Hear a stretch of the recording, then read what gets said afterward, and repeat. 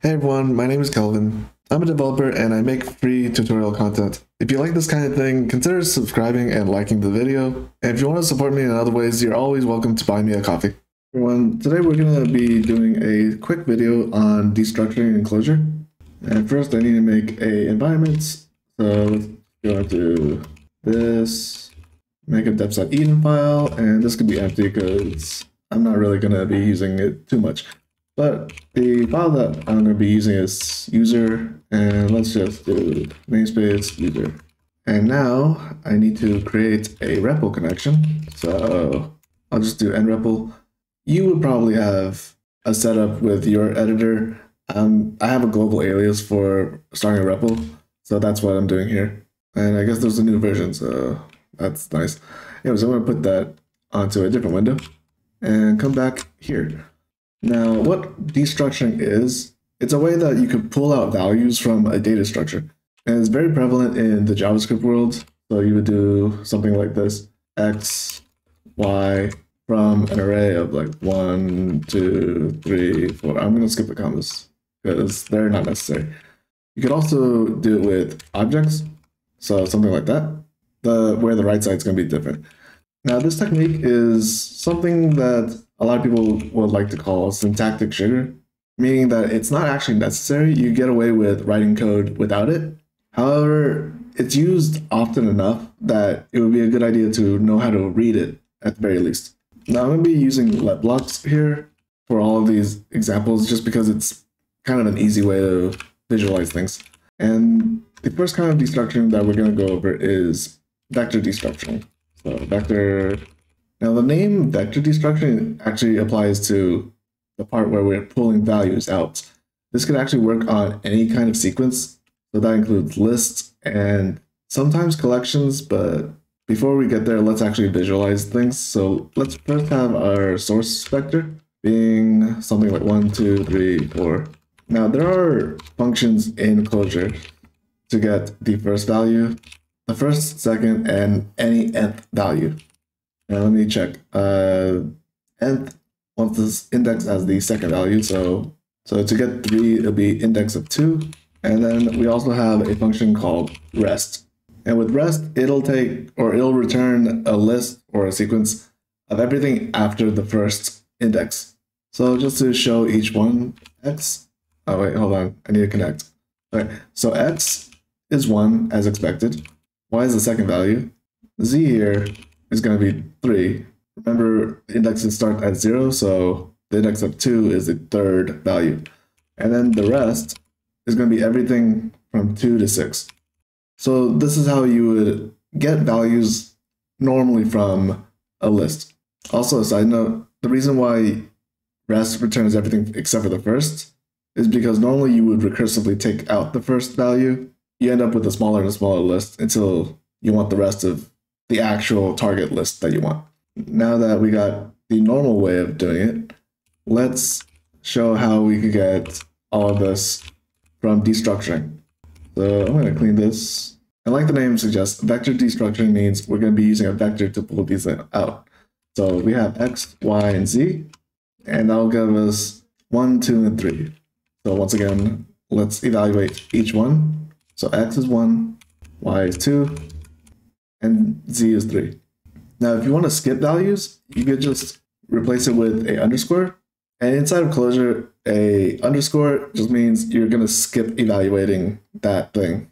Now, that's all well, but how do we get the rest of the list like we did earlier? Well, that's where you add the and sign. So here we're going to do the rest. And this is going to be everything from the list after, was that the third index? So we're to expect 4, 5, and 6, which we get. Now there is one last thing for vector destructuring that you may want to know, and that's the keyword as, and this will give you the entire list. So if we evaluate this, we'll get the full vector of 1, 2, 3, 4, 5, and 6, like so. Now, as mentioned, vector destructuring works with any sequence.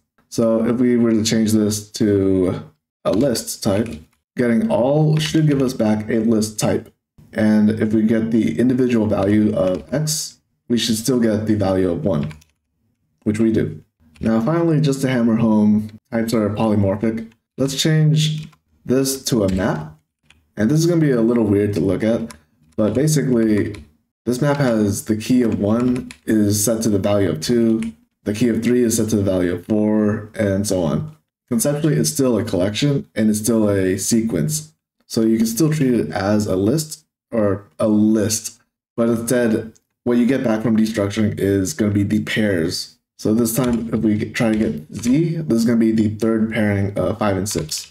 And then I didn't mention this earlier, but if you try to get the rest and you're at the end of the sequence, you should get nil. And of course, we get, get all again, and that's the entire map here with the pairings with added commas because it'll be easier to read from the repl But This now leads us into the next part, which is map destructuring.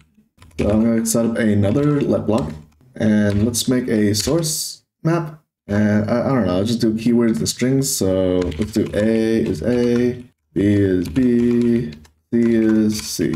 Now normally to get the value that you want, you could use get, and this will get the value for the key of, and of course the shorthand, which is good to know, is to just use the keyword in front.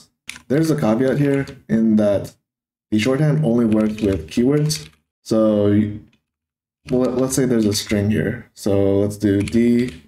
You can't do this because this is an invalid form. But once again, to show that A evaluates to A and B evaluates to B. So this is the normal way of doing it. Now with destructuring, you would use a map on the left side here. And the way this map is constructed can be a little confusing. But if you have a symbol on the left side, the right side is what key that you want from that map. So here we're binding the value of capital A, the string, to the symbol of A. And we're using it by hitting the key of the keyword A.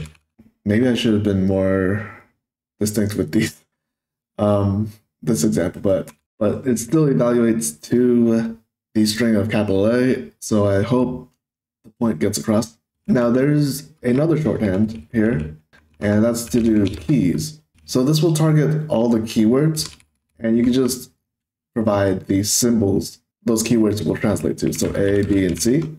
And let's format this a bit. This will still give us the string of capital A, as well as B and C.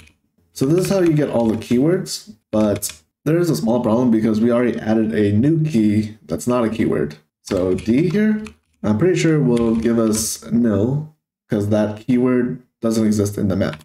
But there's a solution to that. And the thing is we will provide a different keyword in the destructured map.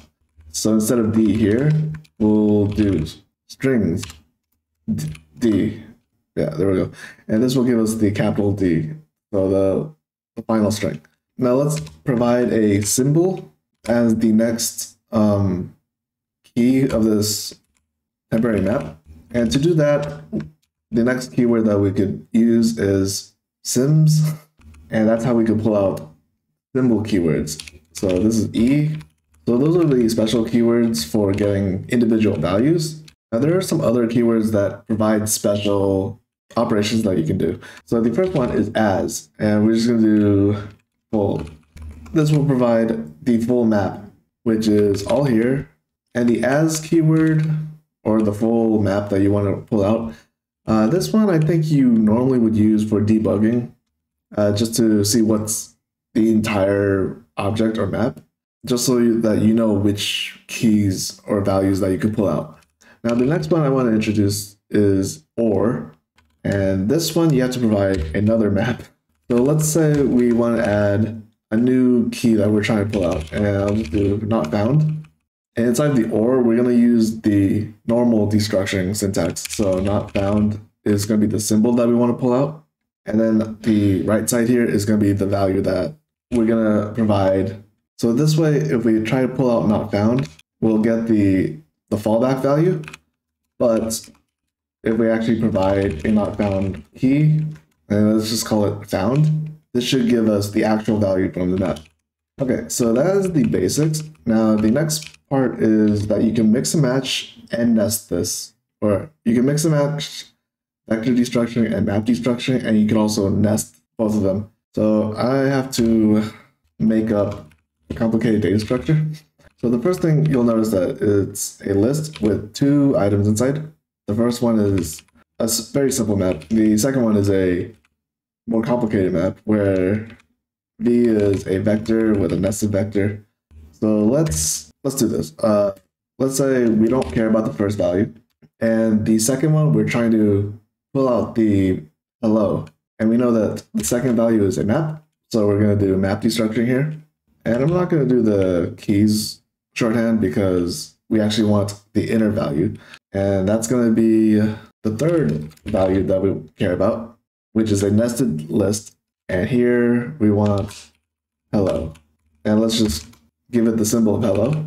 Okay, so this is kind of complicated, but so since you followed along on how I constructed this weird data structure, you should understand the things that we're skipping and then the target value that we we got. And all of that is coming from the combination of nested destructuring with vector and map destructuring combined. And hello should be world because we got the correct thing. Now, a word of note, um, it is probably a good idea not to destructure this deeply because your coworkers will probably hate you. So what you would want to do instead is only go maybe two layers deep maximum. Let's show an example of that. So I'm going to put that here and we'll get second map. And now we have the value of the second map available to us in the let binding. So we could destructure it from here. And let's move this inner thing and we'll call it inner vector. Did I do that right? Inner vector. Let me see the second map. Um, yeah, that's correct. Okay. Oh, I spelled it wrong. Okay, so that's the inner vector.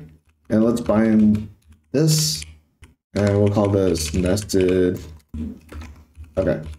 All right. So this is a lot cleaner and easier to read. So we know that we're getting the second map.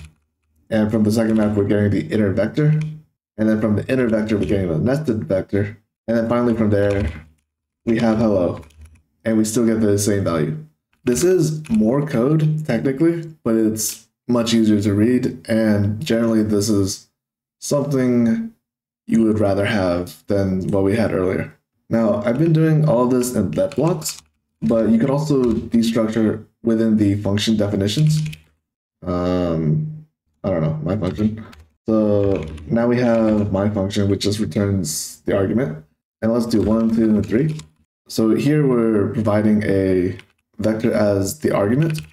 And inside of my function, you could destructure like you did in the let binding, except you don't do the right side, you only do the left side. So let's say we only want the second value, so index one. And then we rerun my function, we'll get two. And this also applies to map destructuring. So let's say we expect a map coming in with a key of something else. And let's, I don't know, let's just do no. Now if we run this function, we should get no back because we're pulling out the value of with the key of something else. So that was a quick video on destructuring in Clojure. I hope it helped a little bit. I know that this concept was a little confusing, not from a concept wise, but more of a syntax wise, because it's it does take a while to kind of get used to like how all this looks. But yeah, I'll see you next time. I hope you enjoyed this video and found it useful.